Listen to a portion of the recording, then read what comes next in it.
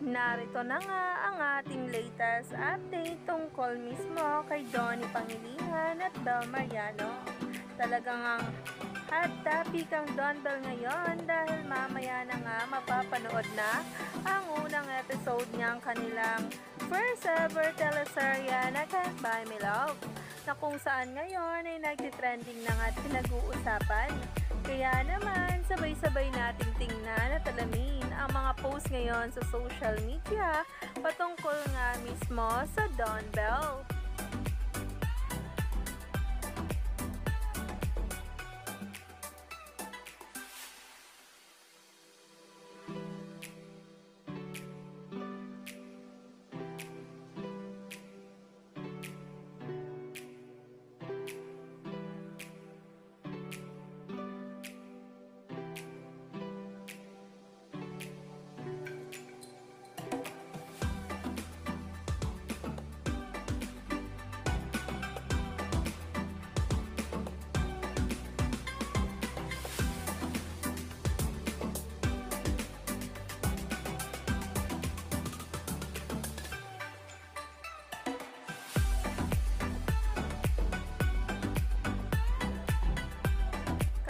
Sino nga talaga ay ramdam na ramdam ang tambalan at ng Don Bell at ang kanilang chemistry kung saan nga hindi may tatanggi ang samahang meron sa kanila.